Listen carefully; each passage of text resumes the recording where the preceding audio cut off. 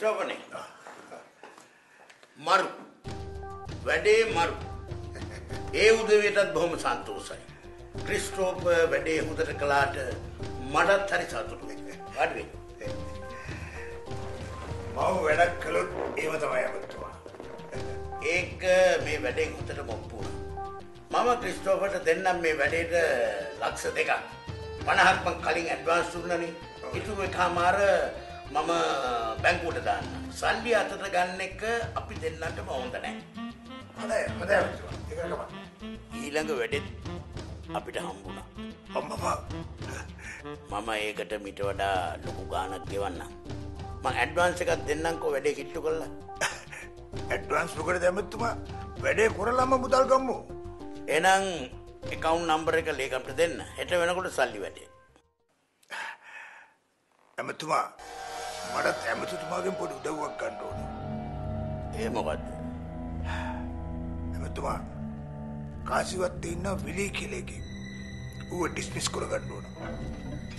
Christoph මේ කාලේ local වැඩවලට අතදාන එක හරියට දැලිපියෙන් ෆ්‍රයිඩ් රයිස් කනවගේ වැඩක් ඒත් ඉතින් යමක් කරන්න තියෙනව නම් නොකර බෑනේ ආ, මොකක්ද කිව්වේ නම කාසිවත්තේ බුලට් විලි. පොඩට අහල පුරුදු නම කමක්. නැවිච්ච ඇනයක් නම් ඒක ගලවලා දාන එක අපි යුතු කමක් නෑ එන ඇමතුමා මගේ දෙන්න. යන්න ඉස්සෙල්ලා මගේ ලේකම්තුමාට දීලා යන්න එකවුන් නම්බර එක හොඳයි ඇමතුමා. මගේ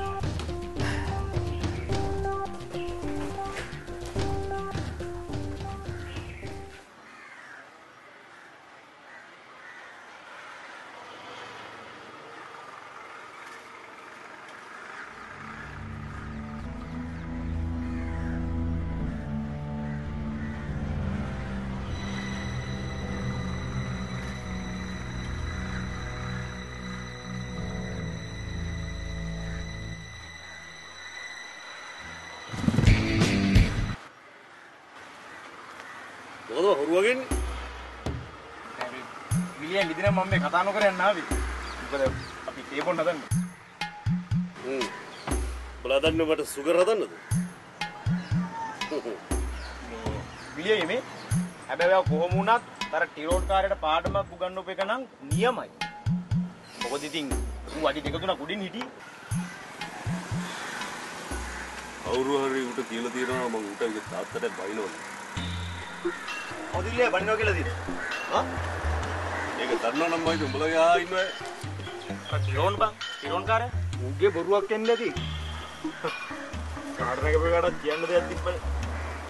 හැබැයි මොන වුණත් මේ මිනිස්සුන්ව වැඩි විශ්වාස කරන එක අඩු කරනවා ඒ කියන්නේ විලිය විලියට අපි ඔච්චකද?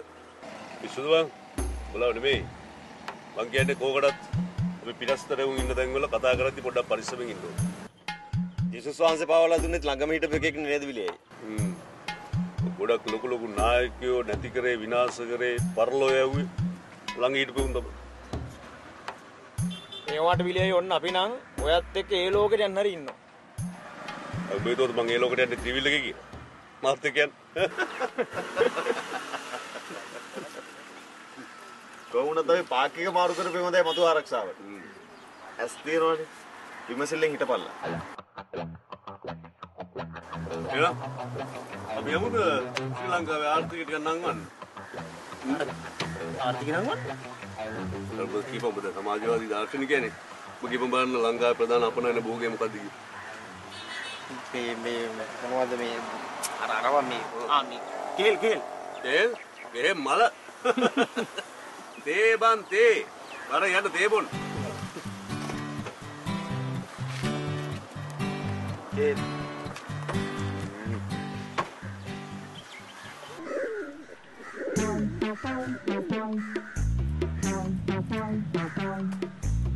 ශීලක්කේ ශීලක්කේ මොකද මේ? දොරකරට වෙලා වෙරිහන් දෙන්නේ. මං උදෙන්ම ගියා ශීලක්කේ ෂෙල්ටන් අය කඩේට. කඩේ යන ගමන් නිවුස් එක කරගන්න දාද අනේ නැහැ අක්කේ. කඩේ ලොකු බෝඩ් එකක් දාලා කඩේත් වහලා ලොකු බෝඩ් එකක් දාලා ඇත්තේ එහෙනම් ණය ගත්තියුන් දුන්නේ නැත්තම් හෙන ගදියන් කියලා වෙන්නේ නැද්ද? අනේ නැහැ අක්කේ. අම්මා මලා අපි ගමේ ගියා කියලා ලියලා තිබුණා. උට්ටා. ඔය පද්මගේ අම්මට ලොකු අසනීපයක් තිබුණානේ. කොහෙද දන්නේ වලගම්. අහන්නවත් කවුරුවත් නෑ අක්කේ. මං ගෙයි වටේ හැමතැනම බැලුවා. බල්ලා විතරක් හිටියා. මං උගෙන් ඇහුවා. ඌ මට බොහ් බොහ් කියන්න ගත්තා. මං සිංගල එතනින් ආවෙන්න. ඌ නම් බුක් බුක් ගන්න ඇත්තේ උඹට පිස්සුද කියලා අහන්න ඇති. ශිලක්කේ අපි මෙහෙම වැඩක් කරමුද? හොඳ ලිස්ට් එකක් හදලා ආධාර ටිකක් එකතු කරලා මල් වඩමක් අරගෙන විලි මල්ලිගේ අතේ යවමු. අනේ අනේ මේ ඕවට මගේ කොල්ලව ගාව ගන්න එපා. ඌට උගේ පාඩුවේ ඉන්න අරපන්.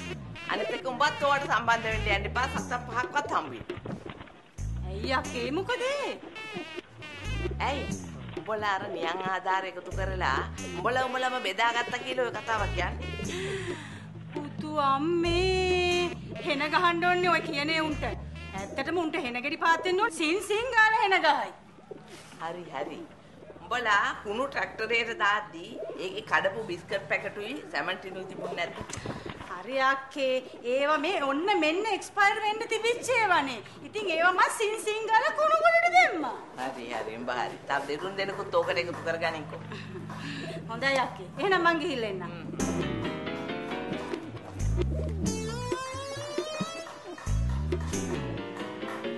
අනේ අප්පී. මේ ගෑනු විශ්වාස කරලත් බෑ නොකරත්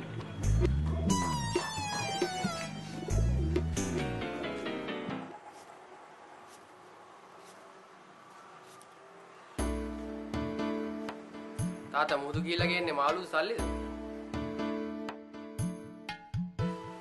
ඔන්න බලවන් මම දවසක තැලක් කෙලනවා උඩට එන්නේ තන්දයි නෝට්.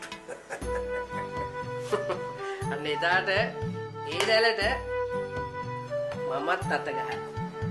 ඔව් ඔව්. අර බින්දු ටිකක් වැඩි වුණාම අත ගහනව නෙමෙයි උඹට අත ගැහෙනවා